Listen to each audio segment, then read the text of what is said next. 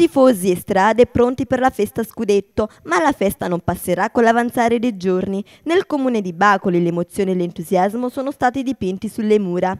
È giunto a compimento il murales ritraente il grido di esultanza del capocannoniere del campionato di Serie A, Victor Osimen. Colori accesi, disegno realizzato nei minimi dettagli, un Maradona di spalle che mostra la sua maglia, il Vesuvio sullo sfondo e l'immancabile scudetto con tanto di numero 3. E questo quello che appare in via Miliscola, a due passi dal lago Miseno, lungo la pista ciclabile. I passanti si procintano a fotografare l'opera e a fotografarsi insieme a quest'ultima. Un'esultanza speciale per Victor Osimen, quella rappresentata dallo street artist Raffo Art, il quale aveva anche realizzato il disegno sulla Fiat Panda di Spalletti la scorsa settimana.